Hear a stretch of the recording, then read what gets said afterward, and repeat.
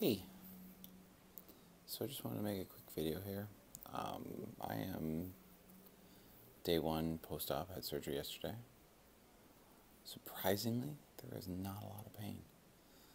I thought for sure like everything would be sore, but my boobs feel fine. My vagina feels fine. It's just yeah, it everything's great. It's not nearly as bad as I was anticipating. Um, I really, really, really need to shave my face. I don't like this at all. It bothers me. I need to get really on this laser thing.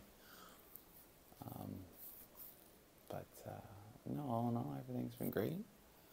The doctors here have been amazing. I've gotten some footage of different things, but uh, I'll be posting that all later. But, anyways, yeah. Feeling good. Day one post op.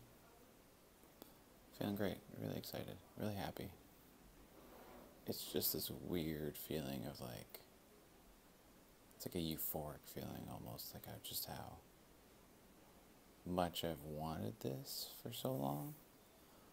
And my hair's a mess, holy lord.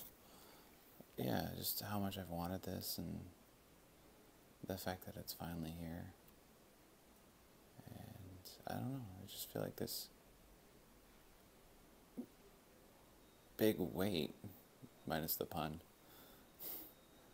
but uh, has been taken off my shoulders and I just feel absolutely wonderful.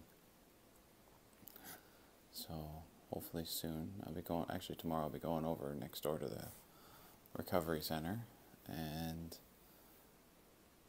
there I will learn how to take care of my new vagina and have everything out. I'm really excited. Just so happy. Anyways, thanks for watching.